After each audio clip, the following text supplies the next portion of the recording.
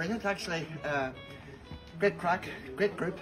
Uh, crack's been 90. Okay, hard work during the day, but by God, we've been playing it hard at night as well. Scenery and crack's been great with everybody, so I would definitely recommend it. These children in crossfire, especially we can do children it with them because it's just an all-round win-win. sense of achievement, the ability to clear your head, you know, and also knowing that you're doing it for a good cause. It was absolutely wonderful. I'm delighted after all this time that I finally have done it. I got more from it than I could have hoped. Oh, as usual, it's been incredibly wonderful. The Camino talks to you. All you've got to do is listen. I would, but I would only recommend it if you go with children on crossfire.